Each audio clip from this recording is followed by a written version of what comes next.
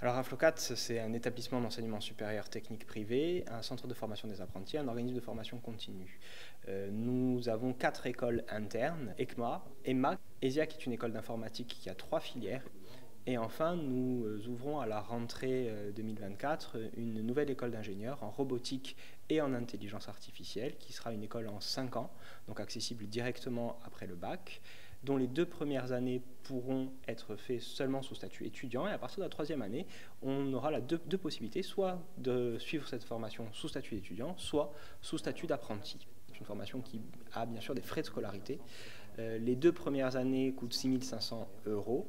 Et à partir de la troisième année, c'est pour ça qu'on a fait le choix de l'apprentissage, parce que ça permet aussi euh, la gratuité pour euh, les étudiants. Nous pensons et nous sommes convaincus que l'apprentissage, c'est une voie d'excellence. Certains d'entre eux nous disent, mais nous, aujourd'hui, un ingénieur qui n'a pas suivi son parcours en apprentissage, c'est un ingénieur qui n'est pas employable comme un apprenti.